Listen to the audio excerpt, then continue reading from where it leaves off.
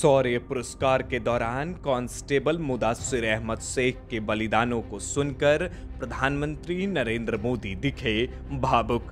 सभागृह में मौजूद तमाम लोगों ने तालियों से मुदस्सिर अहमद शेख के बलिदानों को किया नमन।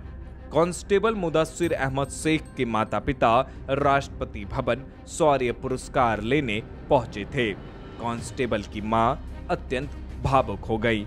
जिसके बाद महामहिम द्रौपदी मुर्मू उन्हें अपने सीने से लगाकर उनके हौसलों को बुलंद किया।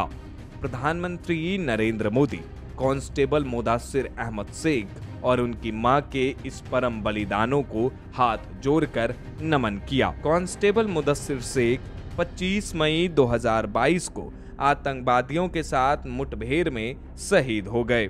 कांस्टेबल शेख ने अपने उत्कृष्ट बहादुरी कुशल नेतृत्व और युद्ध शैली का परिचय दिया।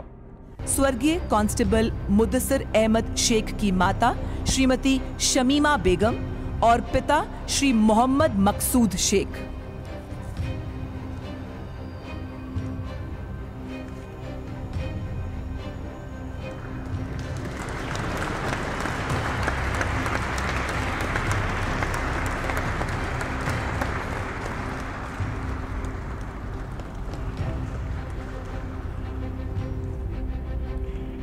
25 मई 2022 को सर्च अभियान के दौरान कांस्टेबल